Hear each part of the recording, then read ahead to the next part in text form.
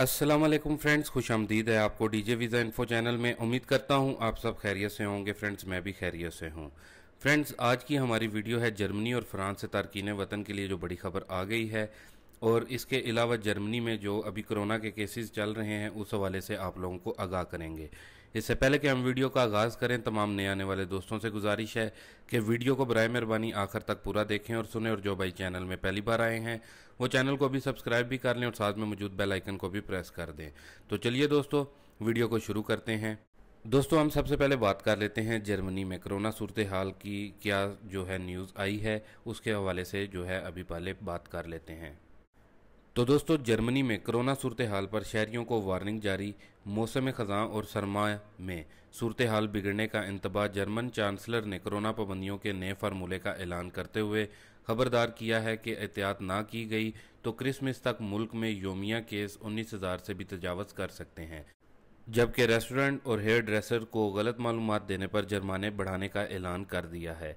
Party रहनुमाओं से मशावरत के बाद नई हमत अमली का ऐलान करते हुए जर्मन चांसलर ने कहा कि सूरत हाल अच्छी नहीं है, आगे मुश्किल वक्त हमारा इंतज़ार कर रहा है। ख़जाओं और मौसम सरमा के हवाले से हमारी तशवीश बढ़ रही है। वबा को रोकने का एक ही तरीका है कि हम किसी भी मरीज़ के पूरे रबतों से आगाह हों और एहतियात करें। जर्मन चांसलर ने कहा कि कोरोना केसेस में इजाफे की बड़ी वजह शादी की तकरीबात और पार्टियाँ वगैरह हैं और अब हमें इस हवाले से इकदाम उठाने होंगे, वरना सूरत हाल बिगड़ती जाएगी। जून में योमिया केस 300 थे, जो अब 2400 तक पहुँच रहे हैं। ये सूरत हाल मुश्किल वक्त की निशानदेही कर रही है। इसके अलावा दोस्तों, जर्मानों में भी इजाफे की भी एक न्यूज़ है। जर्मन चांसलर ने ऐलान किया है कि अब मज़ीद शोबे नहीं खोले जाएँगे। तहम इसके साथ ही उन्होंने मार्च, अप्रैल में किए गए मुकम्मल लॉकडाउन को भी खारिज अज़ा इम्कान करार दिया।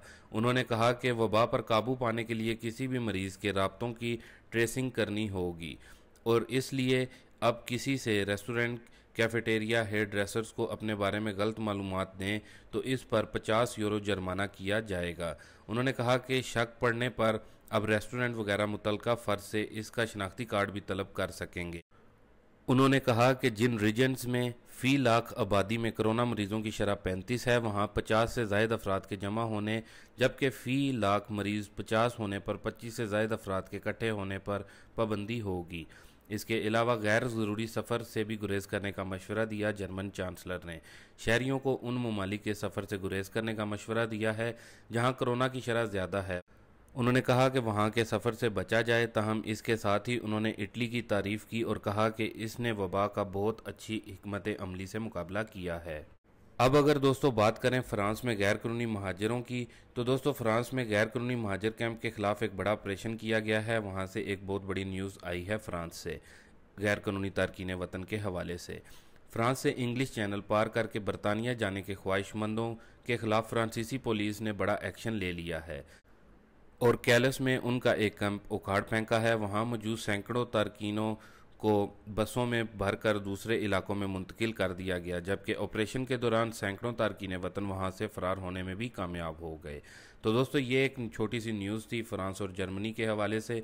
उम्मीद करता हूँ कि आपके इल्म में इससे इजाफा हुआ होगा। अभी के लिए दें इजाज़त अपने मेज़बान डीजे को। इन मिलते हैं फिर से एक ब्रेकिंग न्यूज़ और ताज़ा तरीन न्यूज़ के साथ। तब तक के लिए दोस्तों, अपना ख्याल रखें। अल्लाह हाफिज़।